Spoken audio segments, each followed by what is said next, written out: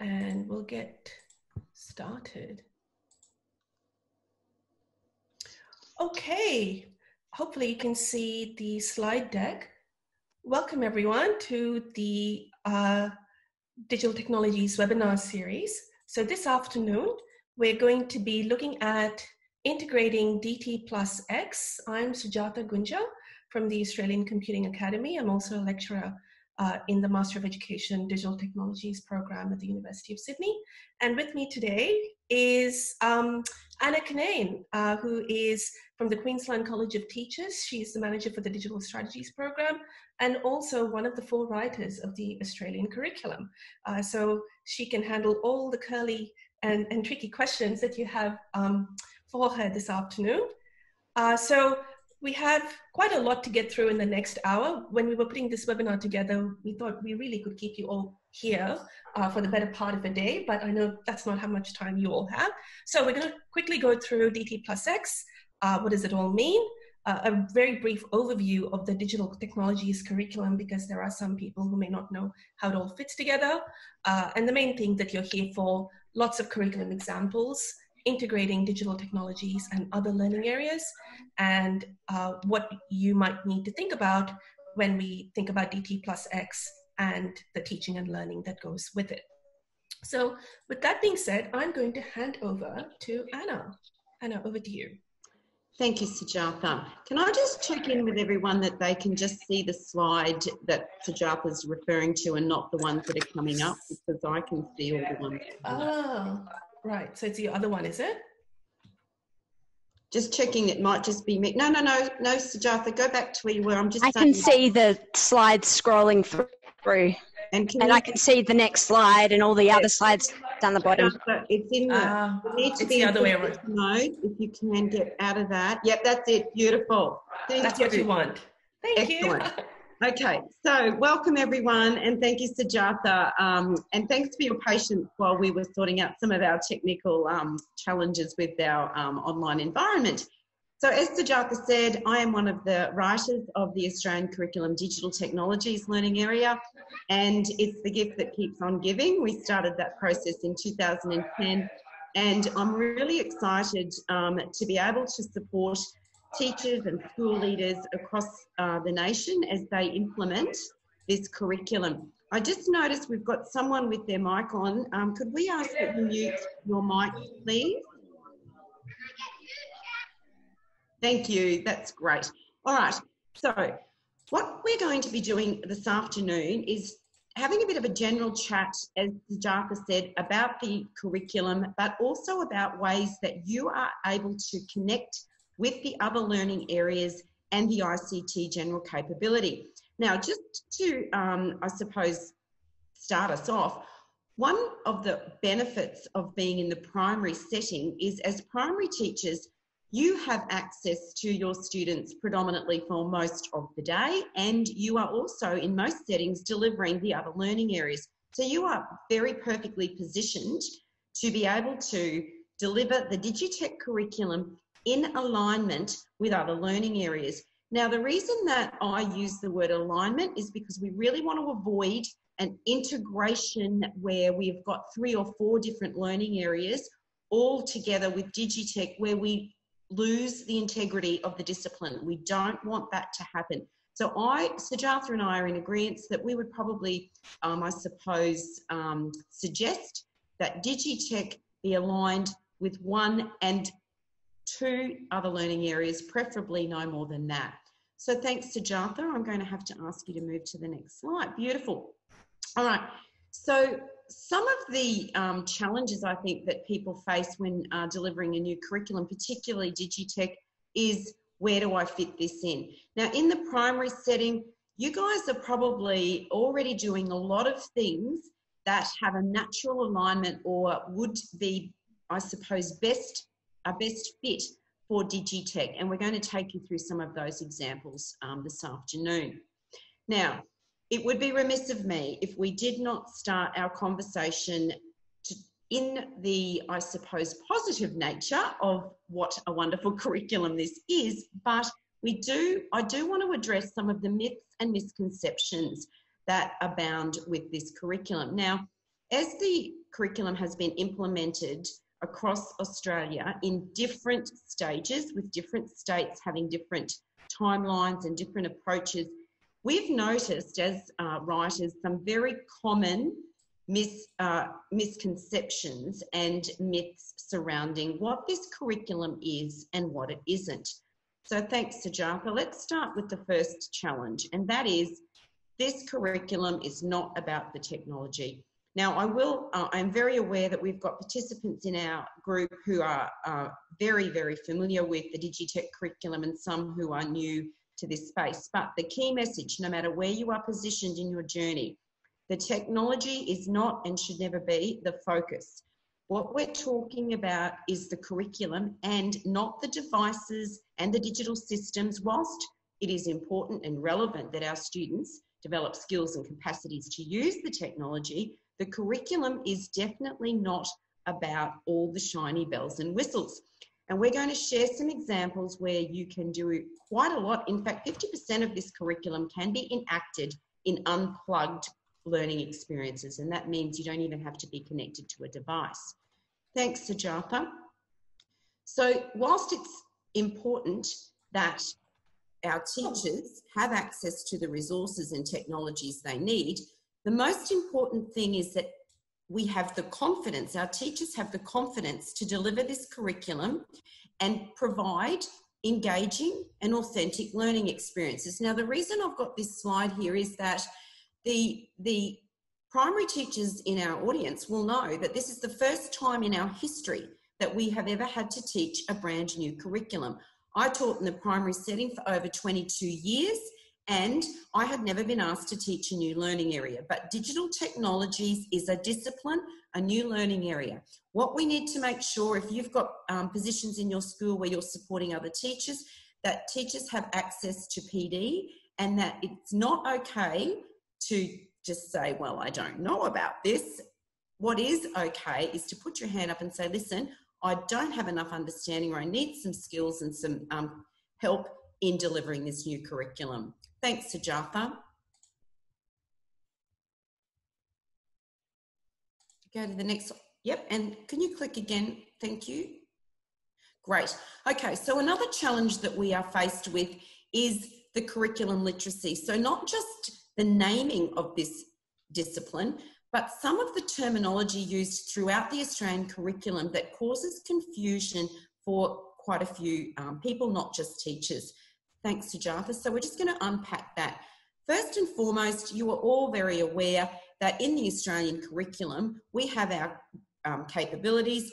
Now, the ICT capability has its natural home in the digital technologies discipline, just as literacy has its natural home in English and numeracy has its natural home in mathematics. But ICT our students need to be ICT capable to be able to engage with the digital technologies curriculum, obviously, but as we are very aware, there are some parts of the ICT capability that sit beautifully within our discipline. Thanks, Sujatha. Okay, now I'm going to acknowledge my colleague Paula Christopherson, who is one of the other writers of the uh, Digitech curriculum. And if I could get you to click again, Sujatha, um, this graphic is a really, um, I suppose, useful way to articulate what it is and what it isn't. So you're probably all very au fait with this. The ICT capability is about the students being effective users of the technology. The discipline is where we are asking our students to be the developers of digital solutions. And we're going to talk very briefly about those digital solutions shortly. Thanks, Sujatha. Now, if, if our, I suppose our um, way of defining this curriculum, digital technologies with a capital D and capital T as a discipline name, caused a lot of confusion because prior to the Digitech curriculum being written, the other learning areas were written first.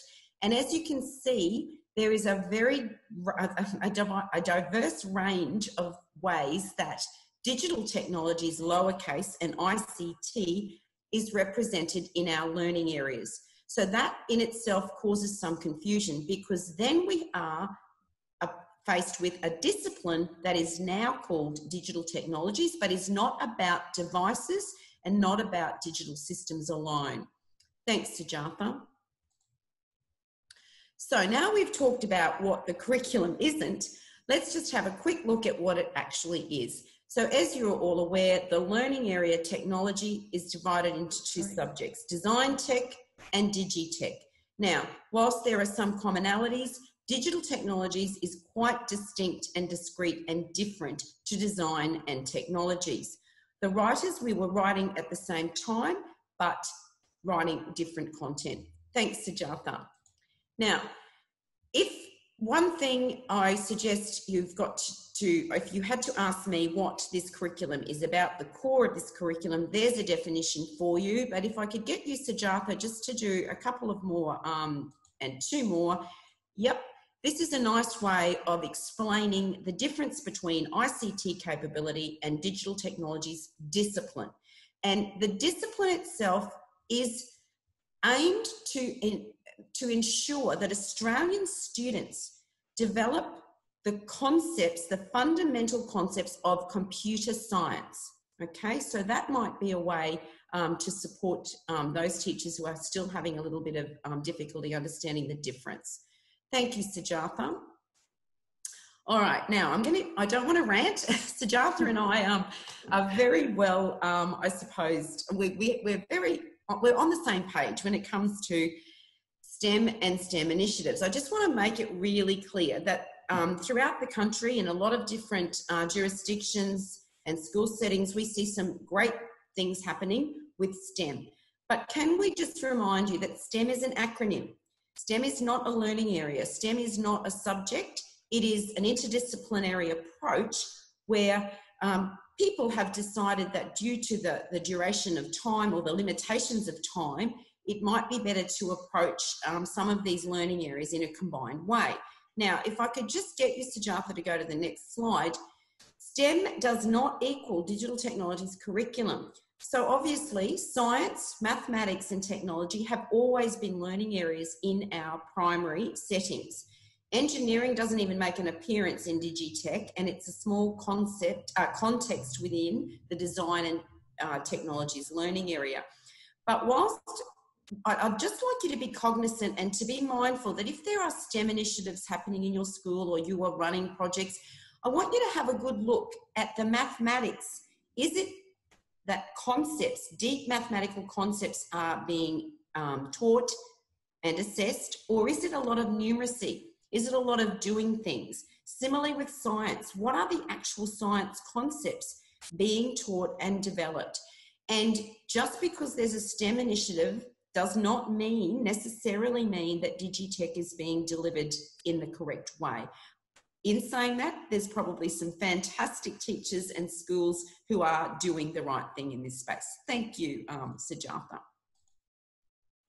Okay, if I can give you one piece of advice, and you've probably already done this, I would really recommend you read the rationale and the aims reading the content descriptions or the achievement standard independently of the entire curriculum can for some people, uh, I suppose, cause a few problems because it's not a checklist of this content description has been covered and we've, we've focused on this part of the achievement standard. Thank you, um, Sujatha. And by the way, the rationale took us a long time to write. And I remember thinking, I wonder if any teacher's going to read this.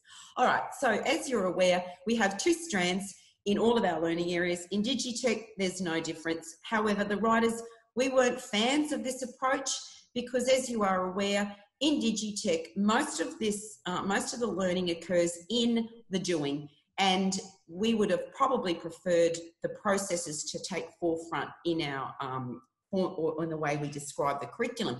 Just to note that the design tech terminology refers to investigating, generating, producing, and in Digitech, the focus is on the defining, designing, and implementing. So that's just something, a nice little point of difference. All right, the other thing that I highly recommend, and good luck trying to find it on the Australian Curriculum website, but the PDF documents, the scope and sequence charts are going to be beneficial for those of you that haven't already found them. Because they demonstrate is every in every teacher's setting when you're differentiating you're never going to have one group of students all um, at the same level. Um, if you are you are very lucky. Have a look at what's coming what was um, taught before or what the expectation was prior to your year level. And of course what are we working towards and our curriculum has been um, divided up into bands year level bands so f to 2 we've got three years to consolidate those concepts etc so from the primary, we're going from foundation to year six. Thank you, Sujatha.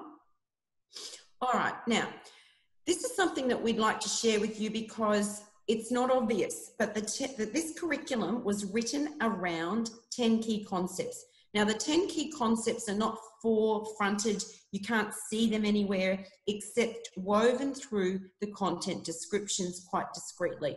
Thanks, Sujatha. On this slide here, you'll see the 10 key concepts. Now, this has come directly, this slide, from the ACA uh, website. Most of you are probably familiar with that website, but I love the way that it, when you go to the website and you investigate these concepts, even the content descriptions on the website have um, are color coded and parts of the content description that um, align to or refer to these key concepts are color coded. So what we're going to do this afternoon is we're going to spend some time on a few of these concepts. So Sujatha, if I could just get you to pop to the next. Thank you. So we've only got a very a small amount of time today. So Sujatha and I um, have put together some curriculum examples that whilst they align to several key concepts, we're going to focus on these four.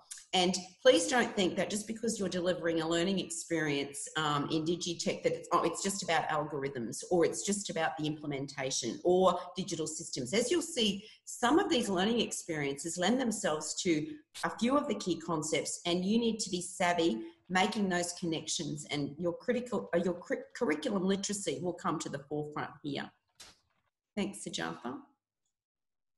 All right, so what I've done here is I've put the algorithm concept um, at the top and you can see from the scope and sequence how these content descriptions align to this concept. Now, if you were starting in F2, you can see exactly what's expected of you there. And as we progress across and from the band levels, we develop the more complex understandings of this particular concept.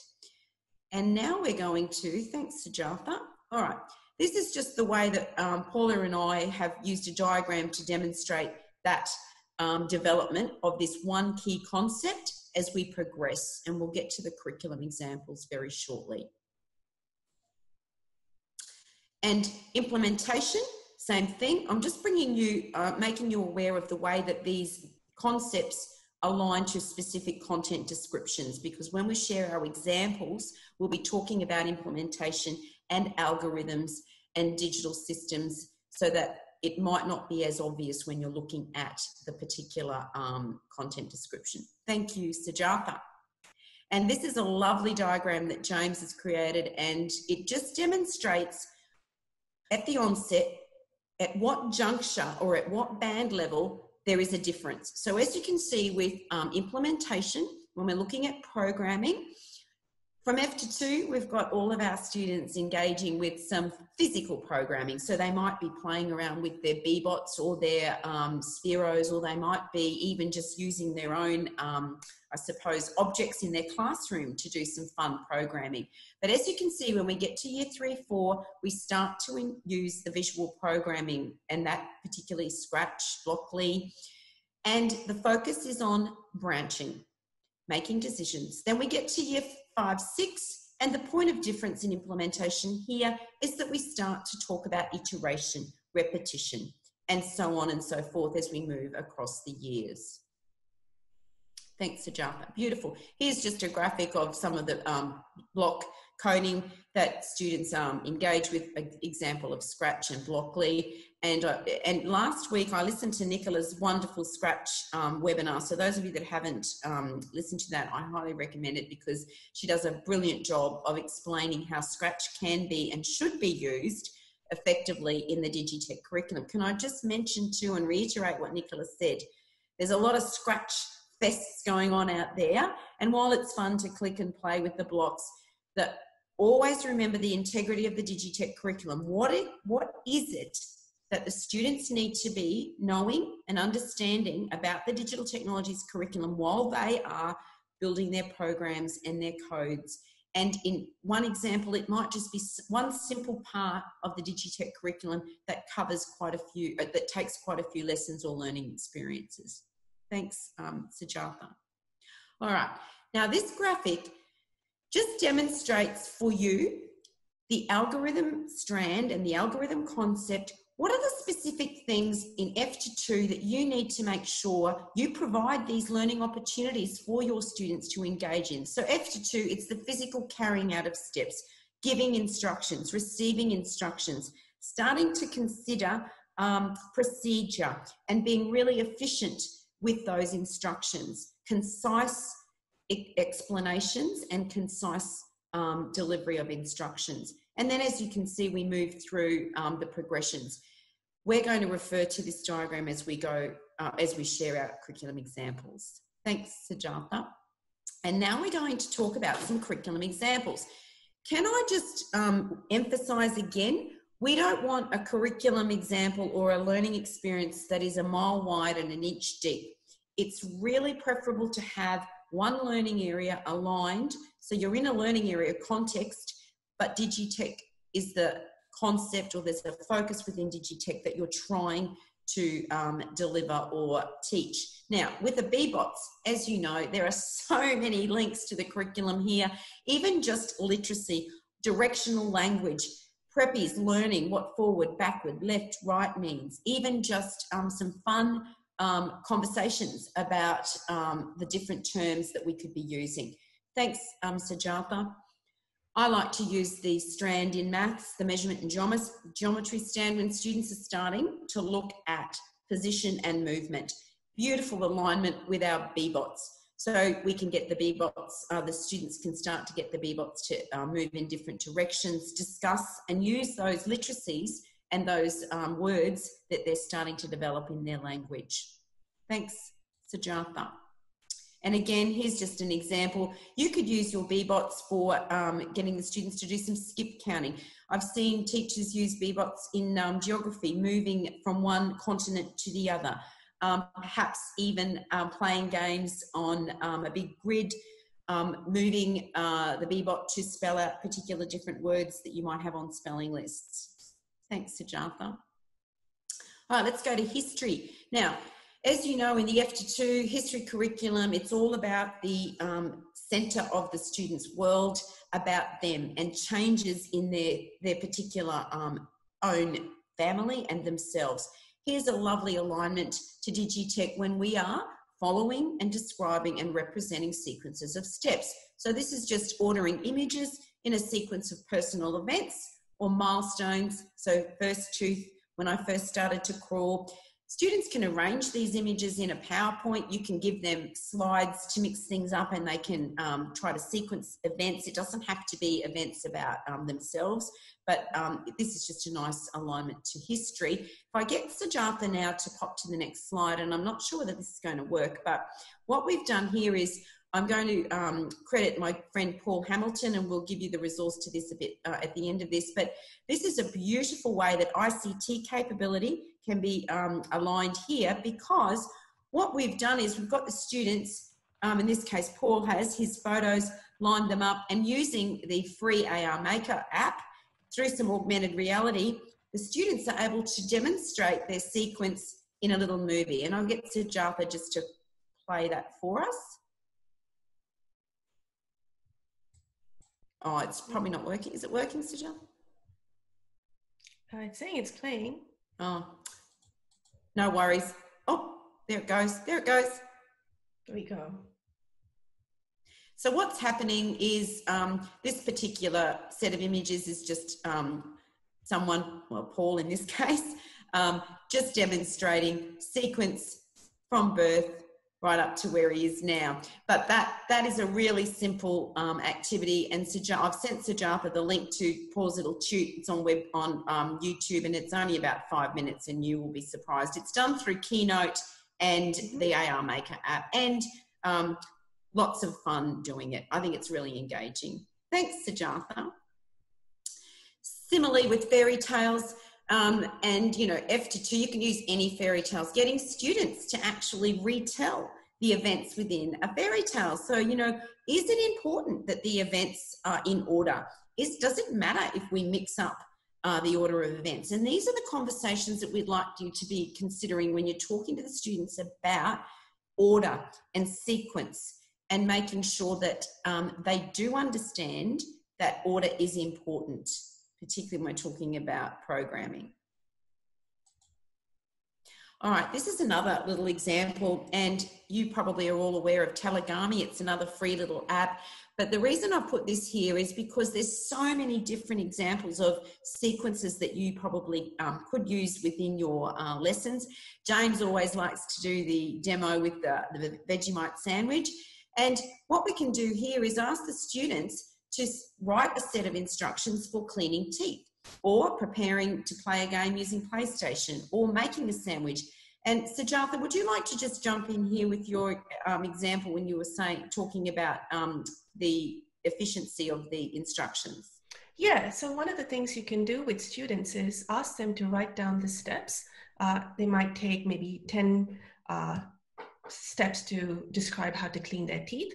Uh, and if, they if you want to give them a challenge, ask them to make it in maybe six steps or under uh, ask them to maybe uh, use only three steps. And then if they're really, really ready for it, uh, ask them to use uh, no letters, but maybe describe it using pictures. So uh, you can actually hit a lot of the different areas of the curriculum. So more than just sequencing of steps, uh, you're also able to bring in some of the data representation ideas in the F to 2 curriculum and doing it in a way that is so integrated into that one area and also different, differentiates for students uh, depending on their familiarity and comfort with using language. Thank you, Sujatha. And that little Tellagami is just a different way to get the students to present their instructions because that's a nice um, alignment with the ICT capability. And that avatar, if you haven't used Tellagami, you can change the hair, you can change the colour of the clothes. Um, the girls can pretend to be boys if they want to, or vice versa. It's a really cool little app. Thanks, Sujatha. Come on, yeah. Okay, so now we're just progressing to the year three, four juncture, and we're going to be looking at that point of difference, which is branching. So I've got a nice little example here, and this is my favorite one. I love the history um, unit that you are probably familiar with if you are a teacher of year four. When the students are learning about the stories of the First Fleet and particularly uh, the convicts, who were the convicts, why were they transported? Now, if you haven't already been on the convict database, I highly recommend it because it is a brilliant teaching tool and I suppose a resource that can be used across so many different um, aspects and concepts of Digitech. So this one I'm going to share with you here is after the students were, well, they're in the context of history, they're learning about the convicts and um, something I learned that most convicts, in fact, 99% of them were transported for seven years, but no one ever really went back. So, what I'd um, suggest you could do here is get the students, and in this case, create a little quiz to find out what their peers actually know or um, remember after they have finished their unit. But this is the context of history, but you are teaching the Digitech concept and that content description there clearly defines what that is and we're, we're remembering to put in some branching. So some decisions need to be made in your Scratch program. And again, this particular history unit, we can also start thinking about some digital systems because the students, as they're engaging in the database, thanks Sujatha, as they're interacting and navigating their way through here, we're also aligning to the English literacy strand, looking at digital texts, not just that, look at the interface and start having conversations about the interface. Is it an easy, is it easy to use? Does the user actually know how to search? Um, and this particular database, I think you could do a lot with the ICT capability as well, but then you could start having those conversations about what is a database? How, where else in the school do you think we've got a digital system that is like a database? We could even create a database with the data in the um, attributes of students in the class. Number of students with blue eyes, brown eyes, the number of boys, girls, etc. And I think Sujatha would like to, Sujatha, you've got something to share here as well. Um, yeah, so with this month, you can take your students to the library, uh, ask, ask the teacher librarian to uh, explain how they might look up books, how they might look up magazines. Uh, you could also set uh, those students who might be interested to go off to their local community library, obviously after uh, lockdown and all of that is finished. Uh, but there are a lot of opportunities for students, uh, even though they technically don't have to u- know the word database. Uh, the fact is, they're starting to connect these ideas that uh, information is distributed across uh, many locations and they can actually access it through either a web browser or any other type of software. So it's a nice way to connect digital systems to the work that you're already doing in Year 4 history. Thank you, Sujatha. And I suppose the key message we're saying here is while you're in the context of a learning area, these skills and knowledges and capacities in Digitech can be reinforced and taught and developed. Thanks, Sujatha. And this is just a nice little example of an ICT capability um, or even just a fun social media conversation. So who would the convicts have, um, or what were some of the images the convicts might have um, taken if they had access to Instagram? Um, who would their Facebook friends be? What would they have tweeted? Possibly help. This is just some fun other ways that you can integrate ICT and literacy and some of the English um, content descriptions. Thank you, Sujatha. All right, now this example, and I think there's another couple of clicks to go Yep. If you could just click through that, Sujatha. This is now for our five teachers of year five and six, starting to have conversations. We're in the digital systems concept now, having conversations about the digital systems that they're engaging and interacting with. So instead of in our ICT capability, just using the technology, let's have a look. And as Sujatha so eloquently puts it, what's under the hood. So, what's actually going on? We've got a whole range of digital systems that we engage with at school and at home. What are some of the things happening behind the scenes? And Sujatha, would you like to um, address this as well? Yeah, so this one, uh, again, you don't need to have much tech, uh, but just taking stock of what students are already using in the classroom, uh, whether it be um, laptops or tablets, there might be a data projector of some sort, there would be a printer somewhere, the library might have a, a kiosk uh, where students can type in what they want. Um, there might be a, a, separate computer that the front desk has. Uh, so getting students to think about how do all these bits and pieces uh, communicate and talk to each other. And they really don't need to go into too much detail. We're not asking them uh, to become engineers at this point, but really just recognizing that these systems don't work in isolation, that there is some communication happening, uh, that data is being sent between the keyboard that I'm typing and it goes into my computer, which then does something and then it transforms it into the, uh, the text and the, um, the words that I see uh, on my on my monitor and if I hit print, so there's something that happens. There is still, again, some signals being sent that send it to the printer and so on. So just understanding that flow of data is really the main, uh, I guess, the goal of digital systems in year five and six. Thank you, Sujatha. And that conversation about data really doesn't mean anything until we have it processed and made into some information, information that makes sense to us. Thank you, Sujatha. All right. Uh, while we're talking about digital systems, we've got a lot of um, teachers across the country engaging with drone technology. But again, instead of just having fun with the drones, let's have a look at how we can align to Digitech. And again, with our coding, but also um, I've got an example here in our mathematics curriculum. So, for example, the drone in this curriculum um, example, if I could just get you, Sujatha, to move. Yep. So in this case, we're back in measurement and geometry, but this time we're in year three, four, and we're going to program the drone to follow the outline of a specific shape within set time limits. Now, this is a fun activity when we're looking at uh, interpreting information contained in maps, etc., in measurement and geometry. But I think the one thing I love about the drone technology um, or the way that teachers are able to use drones within their teaching and learning programs is the fact that for younger people, it's blatantly obvious if their program or um, code has a mistake in it somewhere because if the drone crashes or doesn't do what you expect, it's a fun way to then go, okay, let's go back and uh, revisit what we have, our sequence of steps. Thanks. And similarly, with any sort of um, you know robots, uh, you know microbit cars and so on, uh, it's a similar sort of philosophy that they need to program it to move. They need to be quite precise in the uh, in the instructions that they use. Otherwise, it's not going to uh, drive the way that they wanted to drive. Exactly. All right. So now we are looking at our year five six. Um, band and the point of difference here in our implementation is the iteration. So the repeated, um, and it eloquently says there, something multiple times until a condition is met. So if we could just go to the next slide, Sujatha.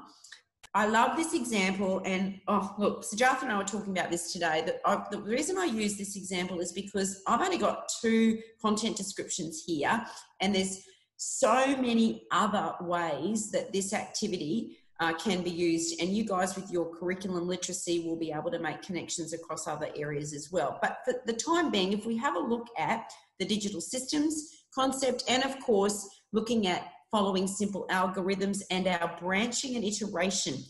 Now, this example also lends itself to the opportunity of having a look at barcodes and the way this data is represented, and even considering what happens when I scan this, how does that machine um, self checker actually, or self checkout actually know that this is a carton of milk and that it costs this much? So these really good conversations you can start to have. But the next slide also is an example of digital system interfaces. So we have a look at this Coles interface. Now, I have to say, sometimes I get really frustrated, and as Sujatha um, has said, you know, um, unidentified object or um, bag or what's the word Sujatha that, that, I was just typing it in unexpected oh. item in bagging area. I know. So what I would like to see is students having a look at some of these interfaces that um, we use in our everyday without even thinking but start to really critically view that and say look you know what? If I'm a user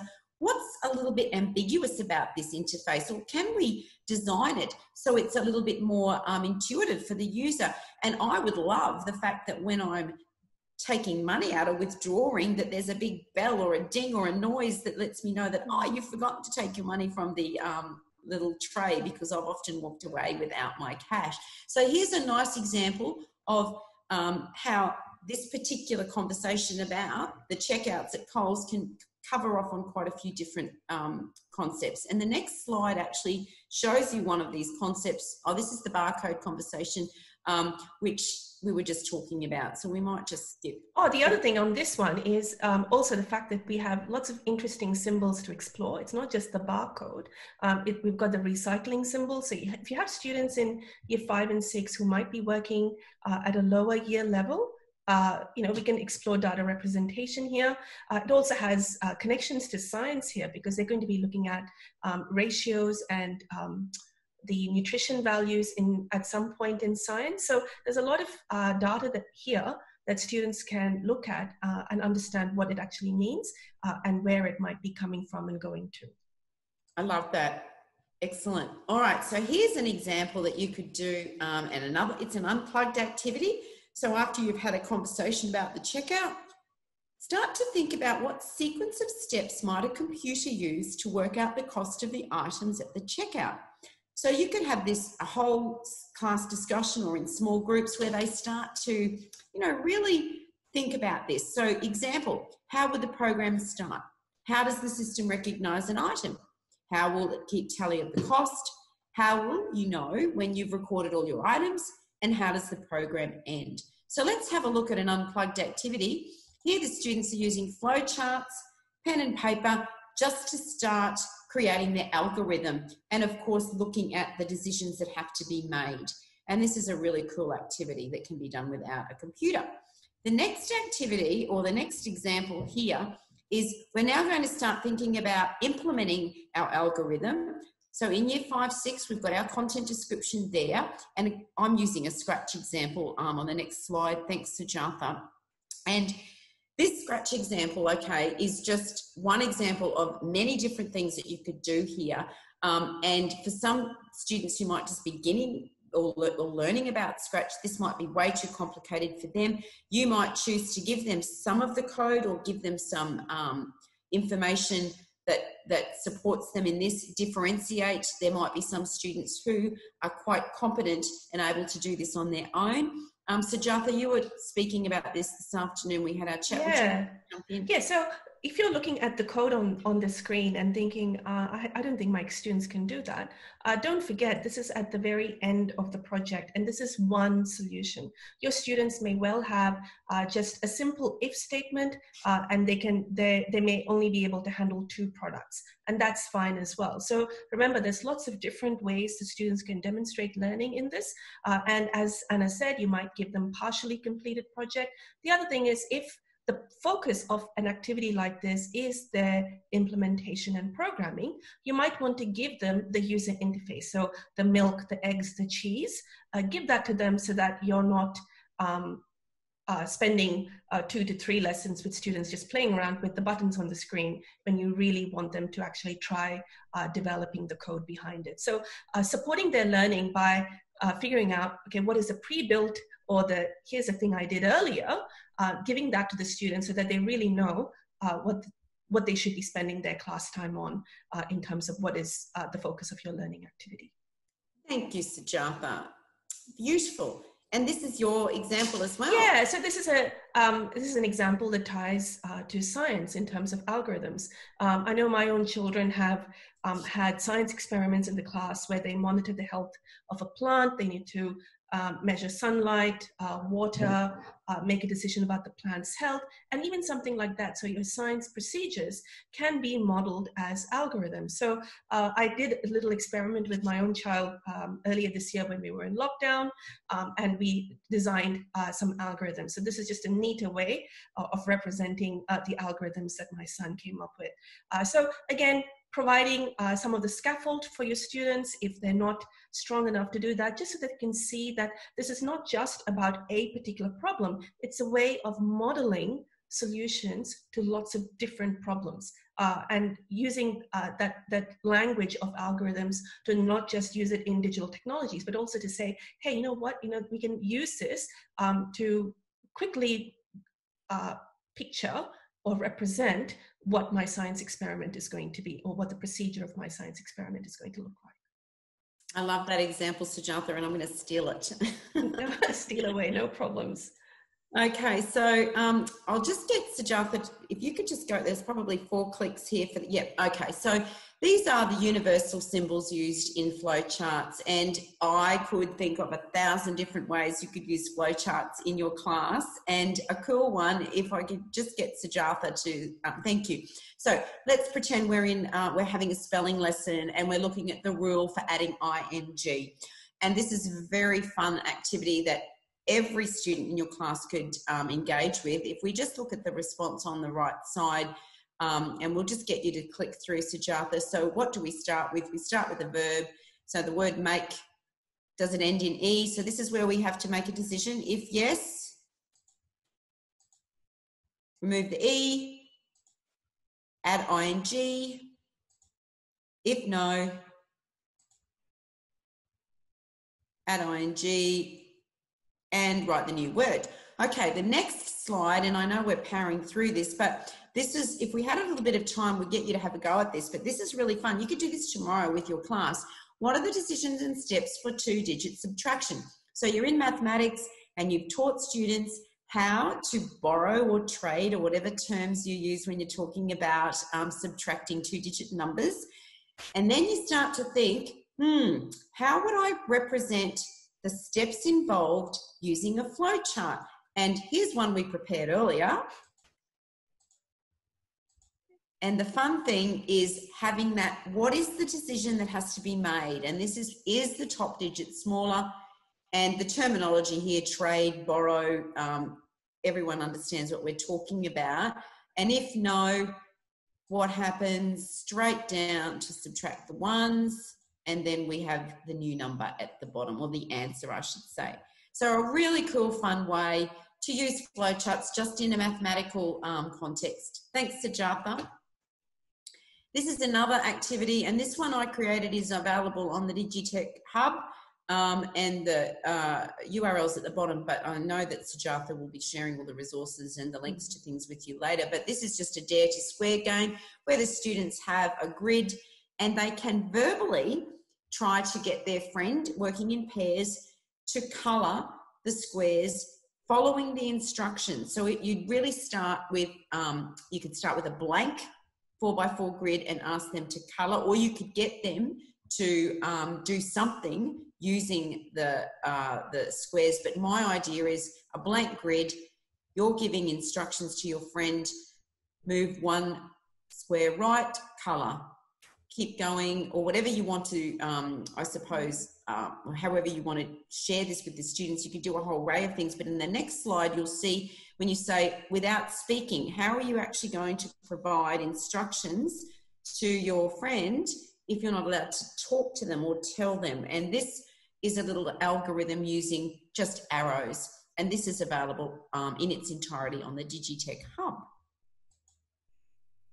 And very quickly rushing through this, here we've got links to English when students are um, engaging with fantasy texts, if that's a set novel. When they're um, in Digitech, they could be creating a game utilising aspects of the fantasy genre.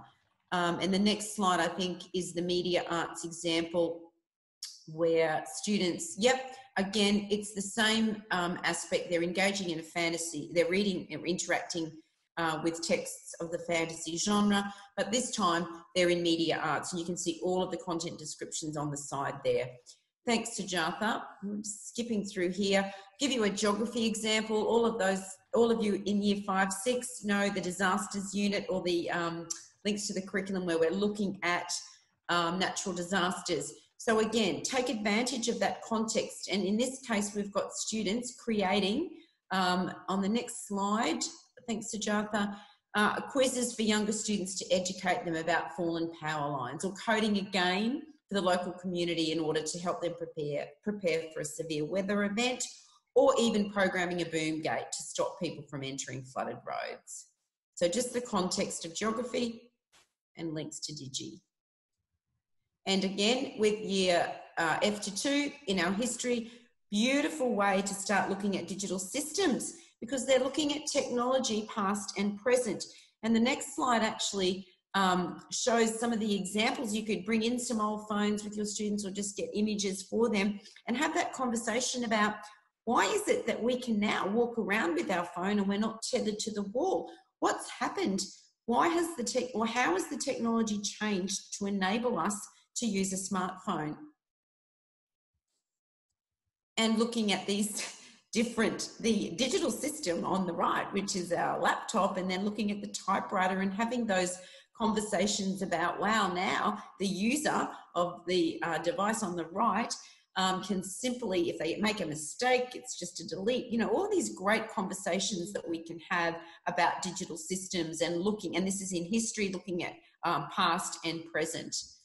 One of the things I did in a, a year one classroom was uh, get the parents to send in um, bits of old tech that they had along with when they might have purchased it. So we just had dates or years on them. Uh, and as a class, we sequenced, sequenced them around the classroom. And it was part of a temporary display for about a week in the classroom. And the kids loved it. It was really, really hands on. They could see all these things. Uh, sometimes they could play with it. And we could also see how the technology had evolved. And the kids could make some observations about uh, the size, the functionality. Sometimes it's had screens. In the olden days, it didn't have screens, and so on and so forth. Beautiful. Love it. And of course, we're talking about digital systems. So we can start to look at the software that the students are engaging in and interacting with and talking about the, the software as a digital system and that wanting to ask the students more about why, for example, if you want to present some particular report or event to the class, what software or what uh, tool best meets your needs. So, for example, if you want to create a, a presentation, um, are you going to use iMovie or are you going to use PowerPoint or are you just going to use Word to um, create your report? But again, the conversation is about the system that the students are engaging in. and the tool that fits. And this, of course, is a nice ICT capability example as well. Thanks, Jonathan. Oh, sorry, it's gone. That's fine. And, and look, we'll just quickly, this is very, very, a, a quick run through. We're talking about data representation here in the preppy or even up to F to 2. These are really cool, fun things to do with a glyph where we're looking at history. And again, we're looking at the people um, in your family. So on the next slide, we're just asking the students to use coloured squares, and my squares don't look very square, but uh, to represent the people who live in the house. And then you could get the students to swap their houses and then try to identify how many sisters does um, Sujatha have, or how many um, grandparents are in the house, if any, or how many pets, etc. So it's a really cool way to start that data representation um, concept off in the early years. And the same sort of thing with the owl glyph. I really love this. And you can do a whole range of things here because this this is a fun. The only difficulty is making sure that you've got all the parts and all the different colours. Um, but um, there is a link, and I think um, Sujatha will share that with you so you can get all of yep. these resources from that website. And again, same thing, but this is using a gingerbread man. All right, now very quickly, we're just going to run through the data collection. Now, this one is probably the easiest one for primary teachers to get their head around because you're already doing this in mathematics and in science. And this particular example I'm going to share with you is a science one. Uh, oh, sorry, it's not. I think I was going to talk about the um, data detective, but well, oh, let's move this one. Yep, sorry. That's okay. No, no, no. The data right. detective is here. That's yeah, okay. It's here. Beautiful. Okay, so this is a nice little um, science alignment where the students are having a little investigation and finding out. It could also align um, to mathematics when they're looking at um, finding out the most popular pet um, in the class or even in the school. So they do a little investigation, they're gathering some data, they might have some little surveys, they might actually go knocking on uh, classroom doors and finding out uh, or asking particular questions of the students. And then they're going to find a way to display and represent the information or the data that they've found. So on the next slide, for example, the question is, what is the most common pet? How will I find this information? And then off they go, they get, they collect their data and then they start to represent it in different ways. Fun pictographs, drawings, um, and this activity is called Data Detective and it's actually on the Digitech Hub. And again, just a couple of um, images of what the students have come up with there. And if you really want to, you can go on to, you know, start looking at Excel spreadsheeting and do some cool things with the students as a, a combined um, whole class lesson. And I think Sujatha is going to now chat to you about the alignment here to sign. Yeah. Right. So lots of things that you might already currently be doing in science have a good tie-in with uh, digital technologies. So anytime the kids are using any type of scientific measurement instruments, particularly they're electronic measurement instruments, uh, you can have a chat about the digital systems. So if they're using uh, moisture sensors, any type, any type of electronic um, thermometers, temperature sensors, and so on. Um, so you can really talk about uh, what sort of data it might be collecting, um, whether it can show you temperature in Celsius, Fahrenheit, uh, again, talking about different ways of representing the same data. Uh, in five and six, uh, we've got some activities uh, on the site. You may have already seen this before, maybe you've already used it as well.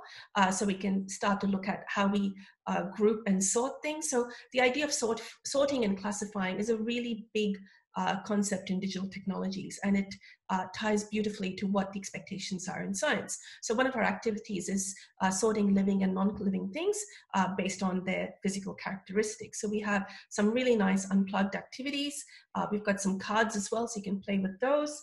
Um, we also have the smart garden project. So for in five and six, again, our students design um, a series of experiments to uh, monitor the health of a plant using uh, the microbit. So these are little um, mini computers. They're about 20 to $25.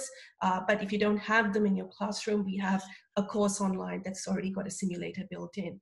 Um, so they can use the uh, microbit to collect a whole bunch of data. Again, it ties in really nicely with the data collection, but there's also some of the programming and implementation that goes with it.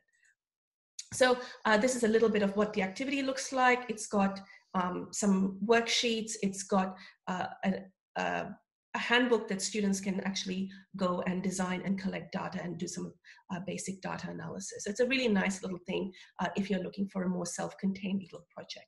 So all of our resources are on the ACA website, so you can have a look at them.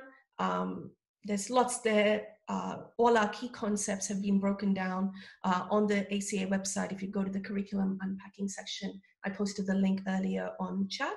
Uh, so have a look at that because it's got lots and lots of examples uh, to really guide you uh, to understand the intent of the curriculum and help you program it in a way that uh, allows you to make the most use of your time with the students in the class.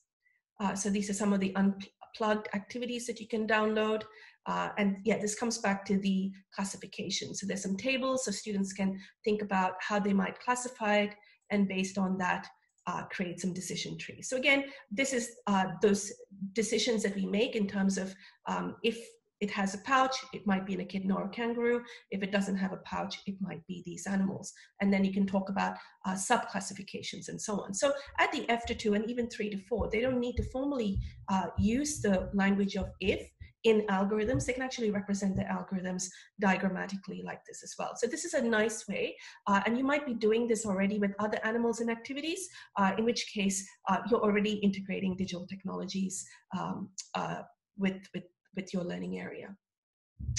Um, so we've got a small poll. I think we might, we've got four minutes left. I might need to skip this because I think um, we'll come back to this at the end if we have some time. So I just want to quickly go through what good DT plus X might look like. Now, some of these points um, we've just sort of chatted about in the office, but really what we want uh, to see is that the learning goals have been clearly identified in terms of what you're going to be achieving in DT uh, plus the other uh, learning area. So framing your learning intentions like students will be able to explain this, understand this, demonstrate this, uh, develop this, and so on. Um, the next point is consider the balance of digital technologies and whatever your other learning area is. Um, if there's lots and lots of science, but the link to digital technologies is fairly superficial, uh, then it may not necessarily be a DT plus X project. And that's fine, uh, but make sure that uh, you call it the thing that it really is. Um, giving it multiple points of entry and exit, so differentiating. All of you are teachers, you know what differentiation looks like. Uh, it can be a lot harder to achieve it in practice sometimes because you could potentially have kids who are working at a band level below and a band level above. So thinking about ways to bring those kids on board uh, and having ways for students to sort of go off uh, and explore some of the more complex ideas uh, would be great. Um, look for authentic integration, but there is always a temptation to cram too much into it. So uh, we call it scope creep. Uh, so just beware of that. There's, um, there's lots you can do, but starting off uh, with small sort of integration ideas is really the best way to start because then you can actually measure uh, the impact of what you're doing. Uh, this one is quite important. Um, we know that mix of teaching strategies is essential, but sometimes uh, what we've seen is DT plus X, uh, students get turned on um, to a computer and saying, right, go and explore Scratch for the next lesson. Um, play-based learning is great, but there needs to be scaffolding, and at some point there needs to be direct instruction. I think there's a little bit of a tendency uh, to sort of think direct instruction is not ideal. I think for the right thing, um, it's absolutely necessary to do that, particularly when you're explaining concepts that not all students may get because it's a little bit abstract. Uh, and thinking about your assessment as well. So, like we said, some of these take home messages that we want to leave you with. Just be aware of cramming too much. Uh, it makes life hard for the students and it makes life really hard uh, for you as a teacher. So start small and when it's successful, think about what else you might do to make it better. Um, the next one is think about the sufficient time. So if I want to, my students to create this fabulous uh, user interface for a supermarket, um, is it enough that I'm giving them only three lessons when they've never touched Scratch before? So that balance of um, uh, a realistic time allocated uh, for yourself to show the students how to do it and also for students to demonstrate learning. Um, this I like because often um, students need to come back to improve their work. Uh, digital technologies is about developing digital solutions and through feedback is when students have a chance. Now, always not, it's not always possible, but at least once every teaching cycle, once a semester, or even once a year, when the students do a big DT project, give them the opportunity to get feedback and maybe have some time afterwards for them to go back and refine their work uh, in response to their feedback. It just makes that learning sink in and highlights to them the importance of feedback in their learning as well. Um, what are the expectations of accuracy in your task? If you're asking them to do something, um, is your assessment uh, expecting them to get everything correct? So again, some all of this uh, you would already know, but when you combine two learning areas, uh, there may be a little bit of a mismatch between what DT expects and what the other subject area expects. So considering what the balances are um, is uh, quite important breadth versus depth. Anna touched upon this before. Uh, the reality is uh, time is short. Uh, we are completely aware of that being uh, classroom teachers ourselves, uh, but giving students opportunities at times to go in depth with concepts is really important. Again, it's really hard to do all the time, but just be aware uh, that where possible, it'd be nice to do this. And if you can, um, give them model responses or templates. Uh, it supports the students that may completely be lost, uh, but it also allows them to be a little bit more self-motivated, self-driven, uh, and get a sense that they can actually do this. So in Scratch, you might have seen the remix uh, button. That's absolutely wonderful. Uh, so giving them templates and saying, okay, uh, we want you to mo modify these little parts of it, and then your assessment um, rubric can look at how students have remixed it. So if a student has just taken the basic project and added some superficial things, they might be at a certain level of achievement, whereas someone who's done significant amount of rework and really changed the functionality and added some more complexity uh, might be looking at a more higher level of um, achievement in the, in the task. So, and this is the most important thing. I cannot emphasize this enough. Um, trying the activity or project yourself. Uh, if you're using drones in the classroom, if you're using micro:bits, or if it's a Sphero, or even if it's getting students to do something in Excel, um, try the activity or project yourself. A, it gives you the confidence when you're in the classroom. B, you know where things might go wrong because you know the kinds of kids you have in your class. You know that um, Michelle might have difficulty with that. You might think that you know, Alexandra is going to love this. What can I do to make this more exciting for her? So trying it yourself um, gives you the confidence and also gives you a sense of empathy in terms of what your students are going to face when they do this themselves. It's 503. Oh my goodness, I'm running late. So the last little thing we want you to do is we want you to switch on your annotations. Um, so it's just at the top. You've got your annotate um, button. And if you can pick a stamp, we just want to see where your understanding is. So we've got some misconceptions here.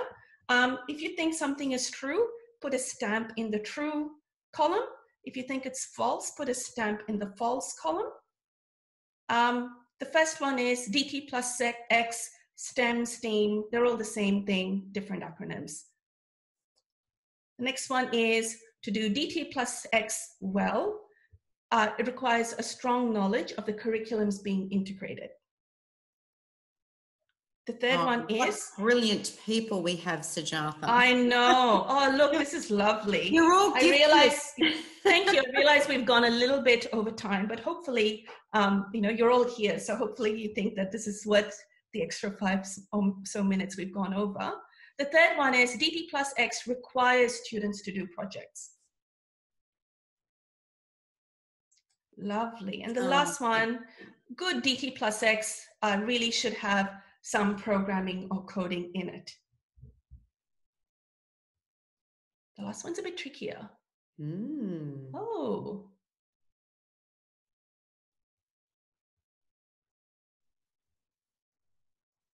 Oh, someone's hedging their bets. That's cheeky. I love it. Love it. okay, so well done. So absolutely, DT plus X STEM STEAM. Um, they're not exactly the same thing. Uh, what we want is authentic integration, but you could have STEM projects that have no digital technologies whatsoever. So our focus really this afternoon has been around um, putting the uh, spotlight on digital technologies and finding good ways and authentic ways to connect it to other learning areas. So you'll notice that most of our ideas we've presented, we haven't tied math, science, HASS, PE, visual art, and digital technologies, because that's just superficial learning and we're just going to drive the kids mad if we try and do that. Great. The next one, absolutely. You do require a strong knowledge of the curriculum. Um, and if you don't have it yet, start. Start somewhere try teaching. Hopefully, you have colleagues around you. Um, you know, if not, reach out to professional learning networks wherever you are in your state. There's um, computing teachers education associations, so reach out to them uh, and get that support. Um, you can do really good DT plus X without doing projects. It might just be two lessons where you are combining um, certain concepts, but it makes sense to combine it because it makes sense for the students. And last one, um, DT plus X can be done really well with no programming. Remember, um, programming technically is one tenth of the curriculum. That's the implementation key concept. Um, so you can do things with data. You can do things with user interfaces, with algorithms. You can do really, really good and strong DT plus X learning um, where the students aren't writing a single line of code. So really think about what it is that you're trying to achieve there and make sure it always comes back to the curriculum uh, and the content descriptions in the curriculum. Um, Anna, have I, what have I forgotten here? No, Sujatha, you're all over it. I just wanted to add one thing, and you did um, allude to it. When you know, people like Sujatha and I, so for me, I taught for 22 years. I was really fortunate that I was in, I spent a lot of time on the same learning area uh, for many years, not the learning area, sorry, the year level. So if you are in a position to be on the same year level for um, a number of years, your curriculum knowledge of those learning areas at that particular juncture is going to be a lot stronger than someone who's had a year in year one, a year mm. in year six, a couple of months in, you know, a different year level. So just be kind to yourselves and consider my mantra would be start small, start somewhere, but.